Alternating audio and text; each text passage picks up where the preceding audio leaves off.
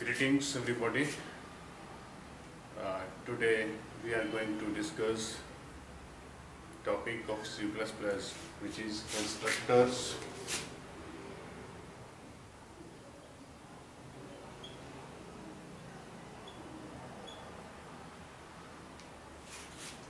So first of all what is constructor? Constructor is a member function or you can say it is a special member function which is used to initialize the data members of a class or we can say it is a function which is used to initialize the objects of a class. So constructor member function to initialize objects. Second property of constructor is that its name should be same as that of class. Constructor name is same as that of class. And third is that constructor is executed automatically. There is no need to explicitly call the constructor. It is automatically executed. Automatically executed. So let us see what is the um, general syntax of a constructor. How can how we can make the constructor?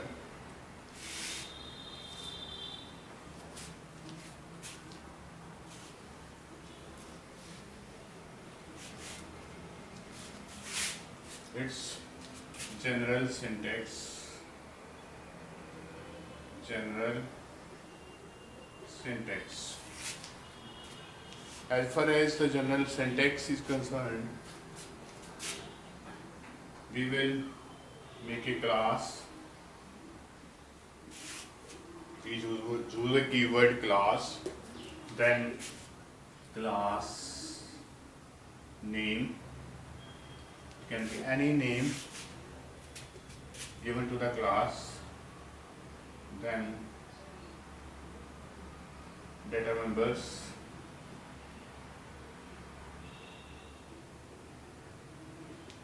can declare any number of data members in the class then we will make a function of the same name as which is given to the class. Means function should be of class name. And we can give code for this function here. And this function is called constructor. This is actually the constructor so it should be in public section so you should write here public. It should be in public section. And the, these data members are automatically private because we we have not given any access specifier before writing these data members. So they they will be private automatically and this constructor will be public. So this is called this is the constructor.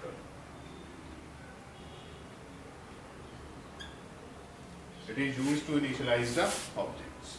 So this is the general syntax for creating a constructor. Now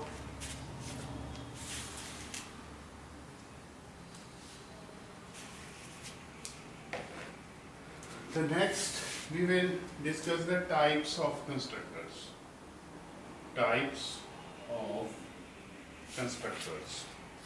How many types of constructor we can make? There are three types of constructors.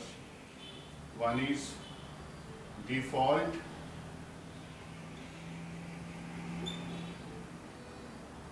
default constructor. Second is parameterized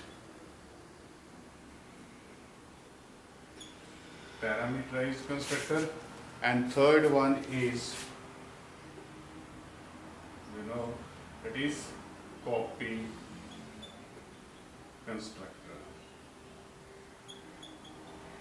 So constructors can be divided into three categories.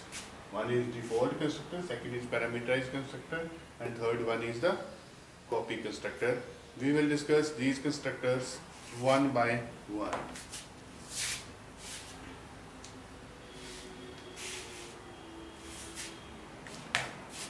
So first one is the default constructor. Default constructor. So default constructor basically is the constructor function which is without any argument. We don't give an argument to this constructor. So this type of constructor is default constructor uh, uh, sometimes we don't create a constructor while making a class. If constructor is not created by the user, it is automatically created by the compiler to initialize the objects. So uh, we will make the constructor which is called default constructor. So we can say it is constructor without arguments. You can't give arguments. You know, function may or may not have arguments. So this type of the function, which is special function, or we can say the constructor, whose name is same as that of class, which does not have any argument is called a default constructor. For example, for example,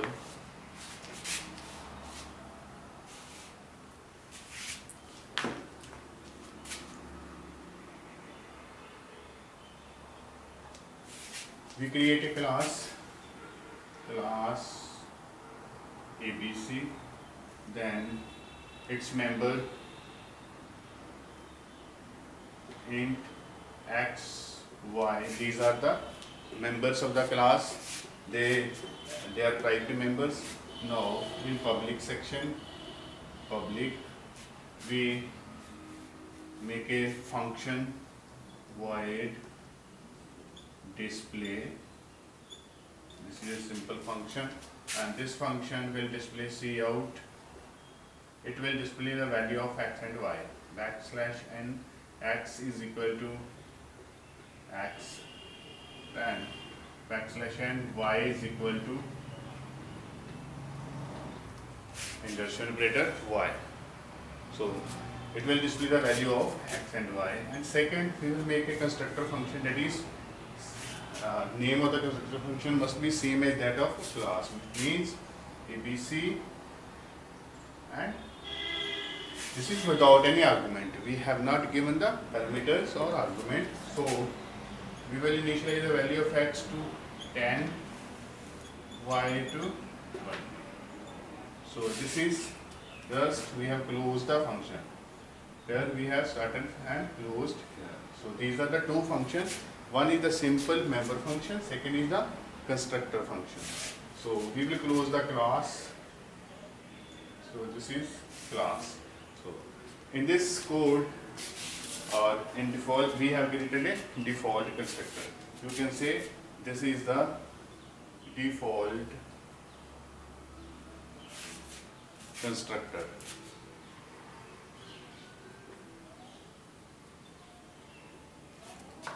This is default constructor.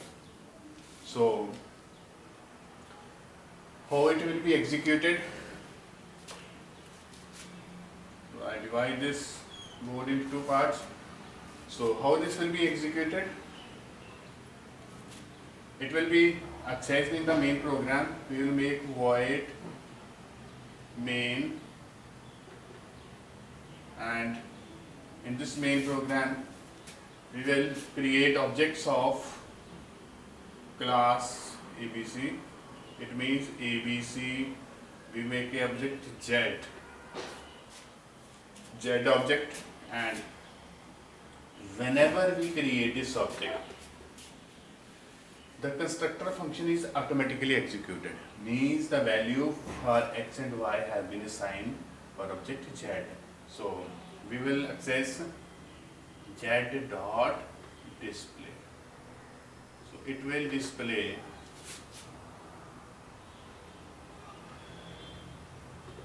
so you can getch and you can close this main function so this is a simple program. Whenever you execute this program, it will create a object z and as soon as this object is created, it will be initialized by the values x is equal to 10 and y is equal to 20. And whenever this function is accessed, display, it will display the value of x and value of y. So it will show the result that is result will be x is equal to 10, y is equal to 20. This will be output. You can say output. Output. x is equal to 10, y is equal to 20. This will be output for this program. So this is the concept of um, default constructor which is used to construct the values of the object or you can say to initialize the value of the data members of the class for the particular object. So that's all for default constructor.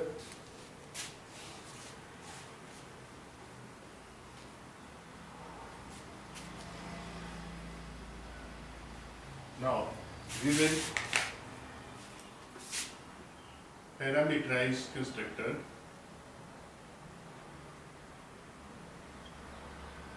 Second type of constructor is parameterized constructor. So in parameterized constructor, we can supply the arguments. So it's it is a constructor with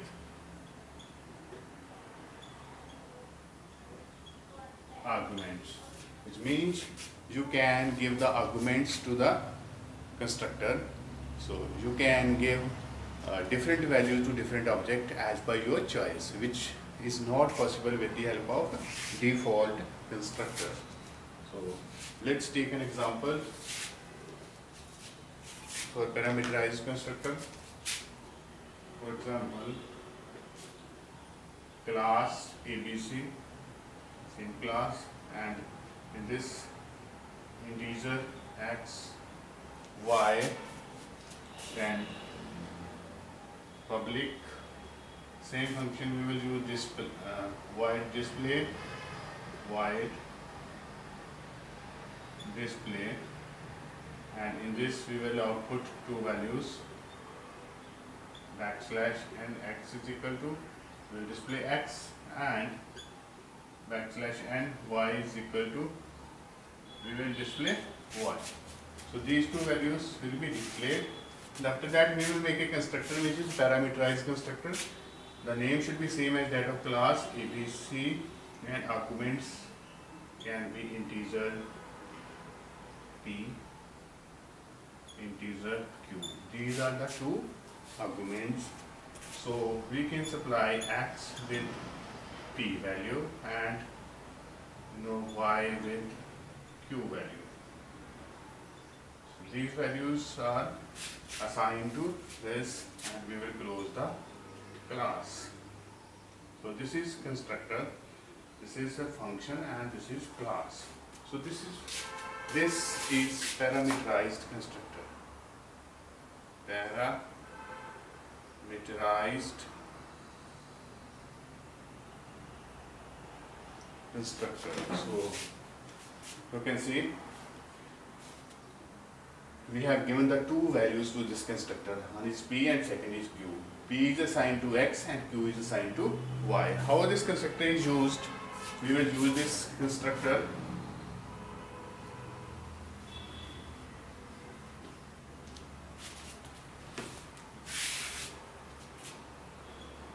void main in main program we will uh, create objects ABC.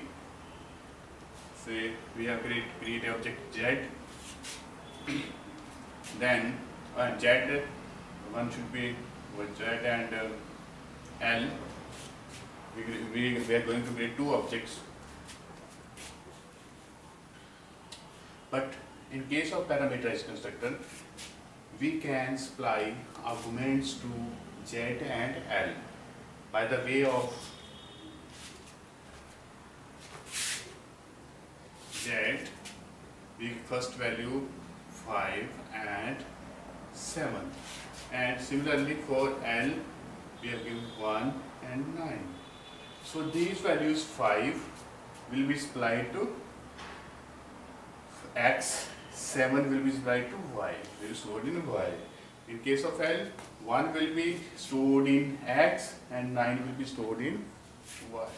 So if uh, we write Z dot display, it will display the value of X and Y for object Z and similarly L dot display, it will print the value of X and Y for object L and getch, we will close the program. So output, what will be the output of this program? Output will be like this. So it will, this function will display the value of x and y, means x is equal to 5, y is equal to 7 for z and similarly L dot display will access the display function for this object. So it will print x is equal to 1, y is equal to 9. So this is the parameterized constructor. Difference between the default constructor and parameterized constructor is that we can supply the parameters in the parameterized constructor and in default constructor the argument should be blank there should not be any argument so uh, we can't initialize the object to different values in case of default constructor. But can we, we can initialize the objects with different values. This object is initialized with 5 and 7 this object is initialized with 1 and 9 so this is the use of parameterized constructor which is which which is not possible with the default constructor. So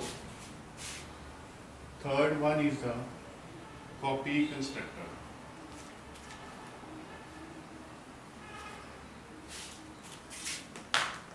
copy constructor. As the name suggests, copy constructor is basically used to copy the value of one object into another object. If we want to copy the values of one object into another object, we can use the copy constructor. So, used to copy values of one object into another object. This is the basic use of this copy constructor. So let us see it with the help of an example.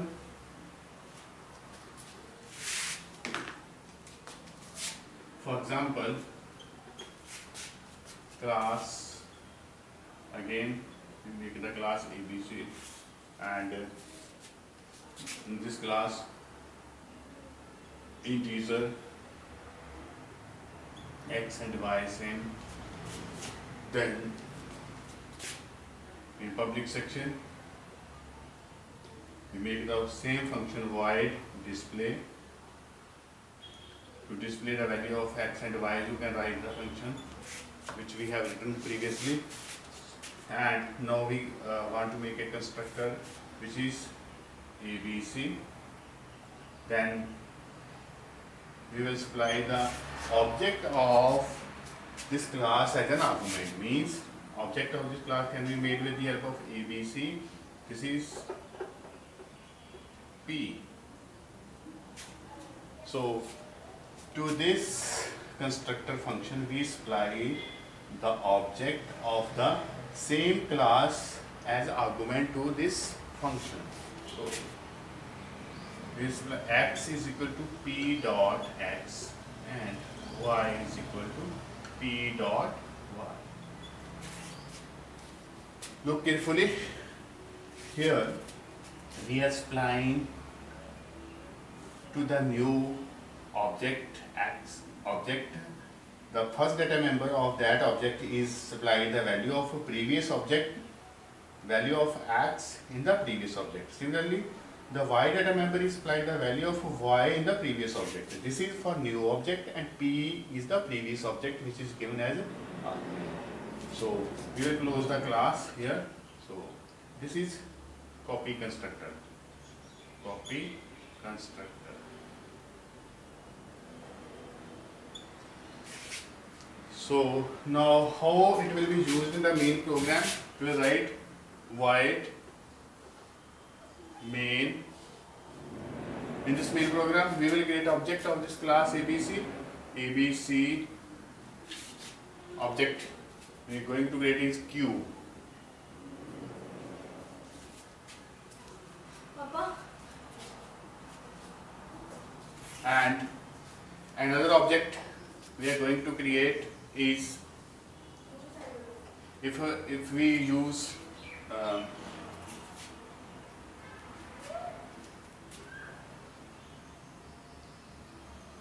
q and l second object is l now with the help of the copy constructor we can assign the value to q the values of L. So values of L can be assigned to this new constructor Q with the help of L. Or there is another way to do this that is so after that you can display uh, L dot display and Q dot display.